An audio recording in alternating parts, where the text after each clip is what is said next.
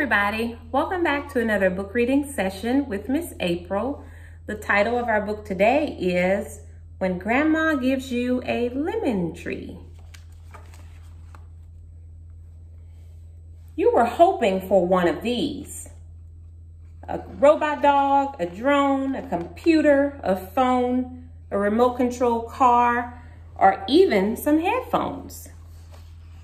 But surprise, it's a lemon tree. What should you do when grandma gives you a lemon tree for your birthday? First of all, act excited.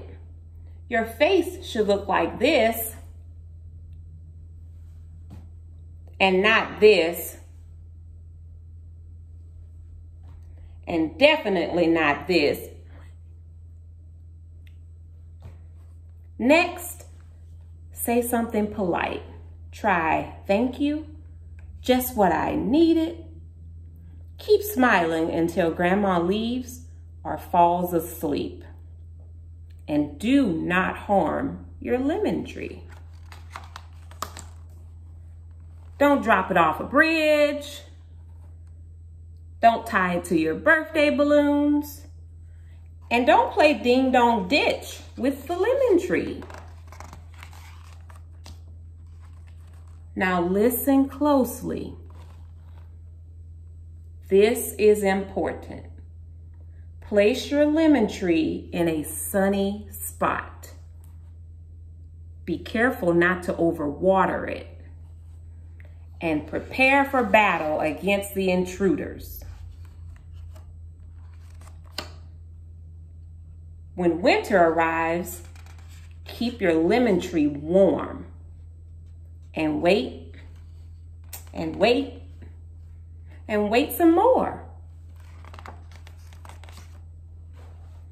Once the snow melts, it's time to bring your lemon tree back outside. Well done. Sure, you can decorate your lemon tree or hide behind it Come out, come out, wherever you are. But you know what's even more fun? Picking lemons. Woohoo! Pick them, slice them, squeeze them. Come on, squeeze, squeeze, squeeze-a-roo. Ta-da! Now you have lemon juice. You didn't think I'd just leave you with lemon juice, did you? Remember those gifts you were hoping for? It's a good thing you're staying focused.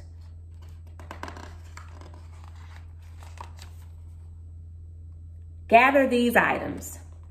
Lemon juice, water, a pinch or handful of sugar,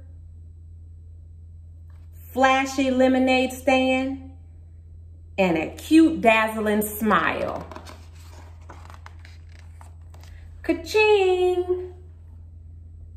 Count all your cash and head to the store. Now you can finally buy whatever you want. Something you can really, really enjoy and share with others too. That was fun. I hope you guys enjoyed the book this week. I can't wait to see you in the next couple of weeks. Bye.